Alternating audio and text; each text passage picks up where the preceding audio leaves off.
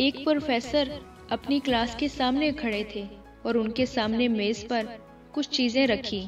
जब क्लास शुरू हुई तो उन्होंने बगैर कुछ कहे एक बड़ी सी खाली बोतल उठाई और उसमें पत्थर डालने लगे। उन्होंने तकरीबन दो इंच पत्थर भर दिए। फिर उन्होंने पूरी क्लास में मौजूद तालब इल्मों से सवाल किया, ये बोतल भरी हुई है। सब उनकी बात से रजामंद थे। और सबने जवाब दिया हाँ ये बोतल भरी हुई है। इसके बाद प्रोफेसर ने कैंकरों का डब्बा उठाया और इन कैंकरों को उस बोतल में ढालने लगे। फिर उन्होंने उस बोतल को थोड़ा सा हिलाया। कैंकर फिसल कर उन खाली जगहों में भर गए, जो पत्थरों के दरमियान थी। प्रोफेसर ने एक दफ़ा फिर सबसे सवाल किया, ये बोतल भर चुकी है? सबने हाँ में जवाब दिया। अब प्रोफेसर ने रेत का डब्बा उठाया और उसे बोतल में डालना शुरू किया। फिर रेत ने तमाम खला जो रह गए थे, उन सबको पुर कर दिया। इस बार भी प्रोफेसर का सवाल वही था और सबका जवाब भी वही था। प्रोफेसर ने कहा कि अब मैं तुम सबको ये बताना चाहता हूँ कि ये बोतल तुम सबकी जिंदगियों को ज़ाहिर करती है। ये पत्थर तुम्हारी जिंदगियों के सबसे अहम चीज़ों को ज़ाहिर करते हैं। जैसा कि तुम्हारी फैमिली, तुम्हारा जीवन साथी तुम्हारी सेहत, तुम्हारे बच्चे, ये वो चीज़ें हैं अगर तुम इनके अलावा बाकी सब कुछ खो भी दो, तब भी तुम्हारी ज़िंदगी भरी हुई होगी।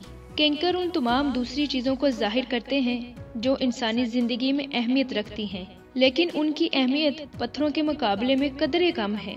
उन चीज़ों में तुम्हारी नौकरी, घर, गाड़ी वगैरह शामिल हैं। अब बात करते हैं रेत की। तो रेत तमाम छोटी छोटी इंसानी ख्वाहिशात और चीज़ों की नुमाइंदगी करती है। अगर तुम सबसे पहले रेत को इस बोतल में भरोगे तो फिर इस बोतल में कैंकर और पत्थरों के लिए जगह कहाँ बाकी रहेगी? यही हाल तुम सबकी जिंदगियों का है। अगर तुम लोग अपनी तमाम तर ताकत, वक्त, उन छोटी छोटी चीज़ों पर जाया कर दोगे तो फिर तुम्हारे पास उन चीज़ों के लिए जगह कहाँ बचेगी? जो तुम सबकी ज़िंदगी में बहुत अहम है। अपनी ज़िंदगी में उन चीज़ों पर तवज्जा दो। जो तुम्हारी खुशी के लिए बहुत ज़रूरी हैं। अपने बच्चों के साथ खेलो, अपने जीवन साथी के साथ वक्त गुजारो, अपने वालदेन की खिदमत करो। तुम्हारे पास अब भी इतना वक्त होगा कि तुम काम पर जा सको, घर साफ़ कर सको और अपने मामला को हल कर सको।